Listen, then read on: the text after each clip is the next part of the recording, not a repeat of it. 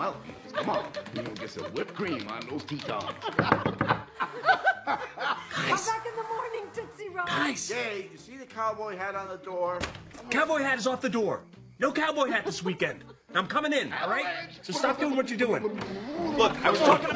Oh, Come on, man. You know what that cowboy hat on the door means? Can you please help me out here? What? We're just being ourselves. Mom, come, mom, please. I think he's saying not to be ourselves. Yes, be yourselves, but be yourselves in a way that's a little less than being your full selves. Okay? I don't All right? understand this, honey. Why are you so afraid of this Jack? You've been kissing his ass ever since you got here. Mom, I'm not afraid of him. Okay, that's not true. It is true. I can't believe you went duck hunting with him. Our people don't shoot dogs. Look, do me a favor. Just make Jack feel a little more comfortable here. Okay? So you don't want us to be ourselves? No, I just don't want you to break his RV, Dad, and, and, and- and reveal that I had sex with Isabel and play weird sex games that everybody can hear in the house. Mom, come, Mom, please.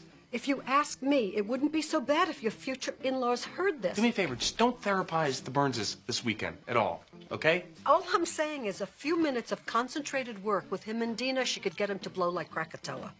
Right. Okay. Yeah. You know what? One day. Just give me one day, okay? Without any complications. We get through it.